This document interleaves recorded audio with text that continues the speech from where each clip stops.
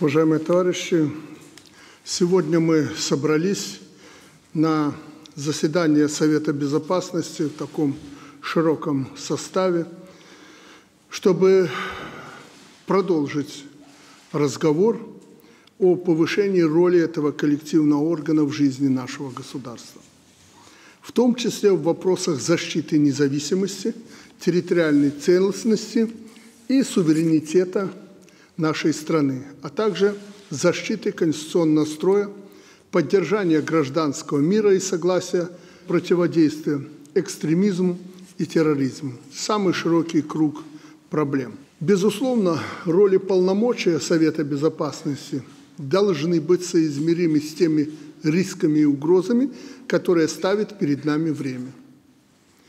Тем, кто сегодня рефлексирует в сетях и мессенджерах, на новый декрет и не владеет вопросом, объясню. Совет Безопасности – это не одни силовики, как некоторые тут пописывали.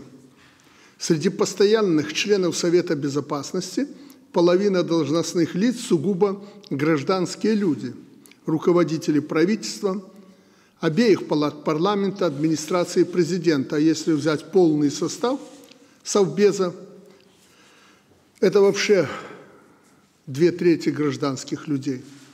Также напомню, что данный конституционный орган обеспечивает реализацию полномочий главы государства в сфере обеспечения национальной безопасности, в том числе как главнокомандующего вооруженными силами.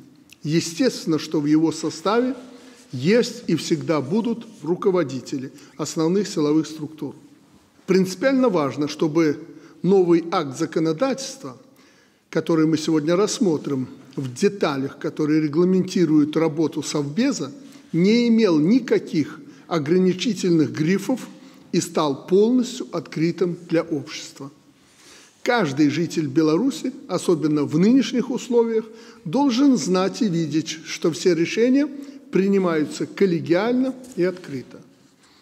Новое положение о Совете Безопасности опирается на Конституцию, закон об обороне, военную доктрину, концепцию национальной безопасности, иное законодательство нашей страны и международные правовые акты, принятые за весь период независимой Беларуси.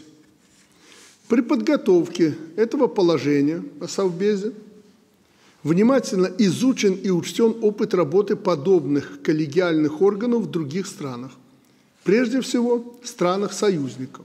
Важнейшей задачей Совета Безопасности было и остается рассмотрение вопросов внутренней и внешней политики в контексте национальной безопасности. Кроме того, деятельность всех государственных органов в преодолении современных вызовов и угроз должна быть не только эффективной, но и максимально скоординированной. Учитывая агрессивные попытки превратить Беларусь по терминологии Соединенных Штатов Америки в несостоявшееся государство, мы должны закрепить за Советом Безопасности новые, конкретные, жизненно важные функции. Такое расширение полномочий будет способствовать обеспечению стабильной и безопасной работы всего государства и каждого человека. Все это вопросы защиты суверенитета и конституционного строя, о которых и говорится в подписанном 9 мая мной декрете.